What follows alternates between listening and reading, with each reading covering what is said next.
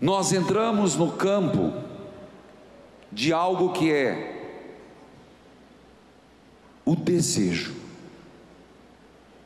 Eu falava que hoje vocês voltariam com clareza o que você quer da vida.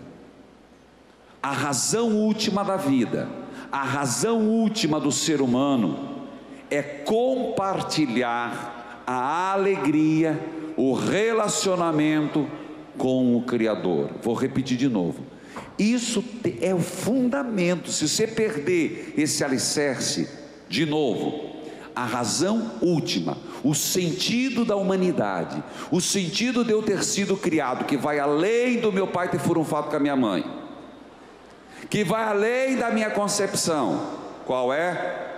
O Senhor deseja que eu compartilhe da alegria, do seu relacionamento como Criador e amor. Só que para isso eu falei é preciso de autoconhecimento. O que é para um não é para outro, não existe regra básica. Nós somos individuais, a nossa criação singular nos faz ter caminhos singulares.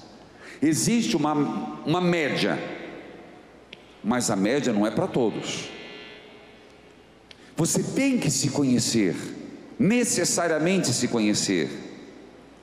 Você tem que aproveitar das suas habilidades. Então, por favor, pare de dizer onde você não é bom. Comece a dizer: nisso aqui, isso eu sei fazer. Escutou o que eu disse? Nós, gente, é impressionante.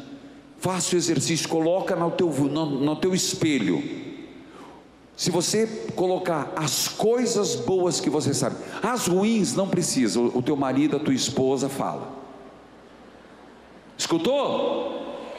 Não faça a lista das coisas ruins, os outros fazem para você. A tua esposa na primeira briga vai falar tudo. O teu marido na primeira briga te joga na cara. Tua mãe irada também. E faça uma lista. Eu vou dar um desafio. Vamos ser bem cristãos. Vamos pensar. O alicerce da igreja são os apóstolos. Quantos são? Doze coisas que você acha que você faz bem. Eita! Vai. E vai colocar no espelho. E você vai reforçar isso, valorizar aquilo que já é dom aquilo que já vem como presente da natureza, aquilo já vem como habilidade. Doze, tá certo? Não defeito, doze. Você vai chegar em casa, você vai no ônibus hoje, você vai colocar no teu espelho, nem que na hora que você for, for escovar os dentes. Padre, vai demorar para eu achar, não importa, você tem muito tempo para isso. Não vai escrever os defeitos, eu tenho pavor. Escreva seus defeitos. Isso aí não precisa, os outros jogam na cara. Fale as suas virtudes. Pense nas suas virtudes. Então, aí está um sinal de Deus. O problema é que a gente ignora isso. Você entendeu? Você ignora. Oh caramba, você cozinha pra caramba, meu. Isso não é virtude. Ah, pelo amor de Deus. Quem está acostumado, se alguém aqui for ter que chegar à noite e comer miojo, não é o meu caso, graças a Deus, tenho alimentação muito sadia, que vive no miojo e inventou que agora miojo com creme de leite é mais gostoso. É o ápice da cozinha. Ovo mexido no meio do miojo. Olha, olha a receita. Olha o que eu estou escutando aqui, ó. Se você cozinha bem, não é virtude? Ah, me poupe. Você entendeu o que, eu estou propondo? Você vai fazer isso, você vai no ônibus e você vai tentar achar 12.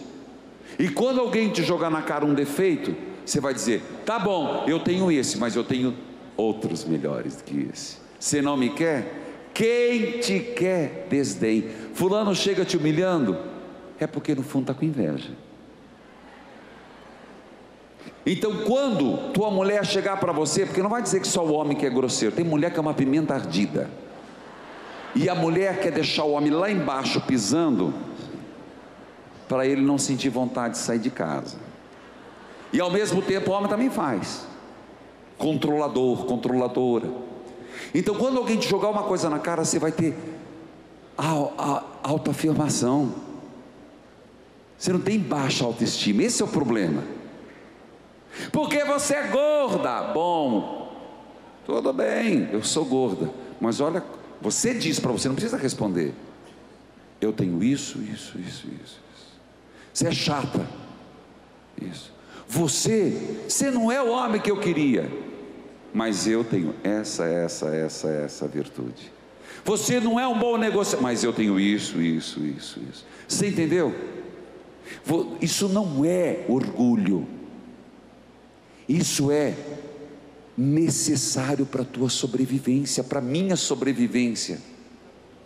Porque destruir é a força do mal. E Deus nos dá a chance de fazer diferente. Usar os talentos em prol. Gente, cuidado. Já estamos no caminho do, de desejar, querer e agir. Desejar, querer e agir. Desejar, querer e agir. Querer não é suficiente. Sonhar não é o suficiente. Está claro isso? Eu tenho um sonho, os sonhos mais lindos, sonhei. E aí? Sonhou, acordou e acabou? Se tua vida for um sonho, meu filho, eu não quero não. Eu quero realidade. Quem quer sonho? Quem quer realidade? Quem tem um plano de vida? Quem quer viver esse plano de vida dormindo, sonhando? Ah, entendeu a diferença?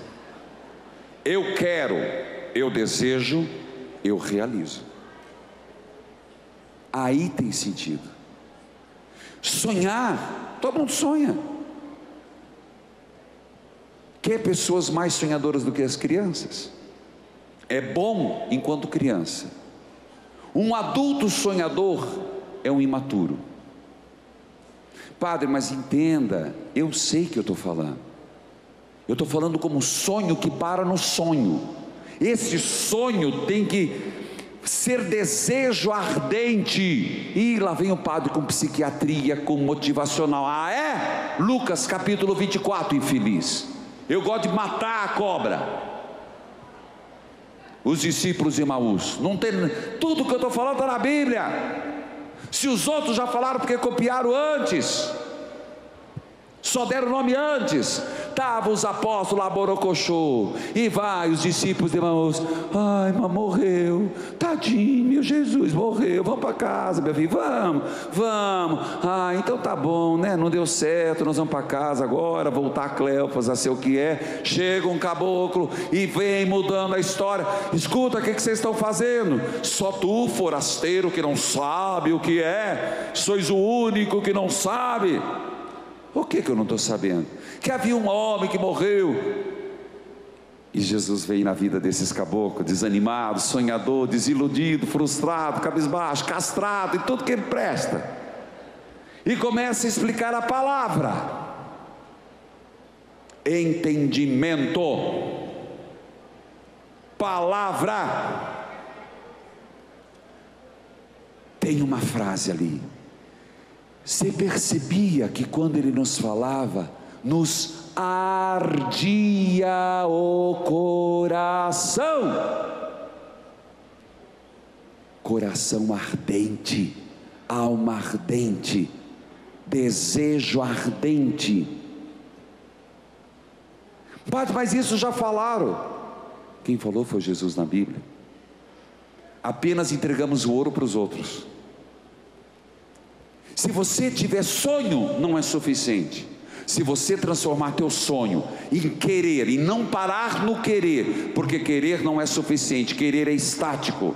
Querer para, de boa vontade o inferno está cheio. Isso é verdade, gente, é, bi, é dos santos.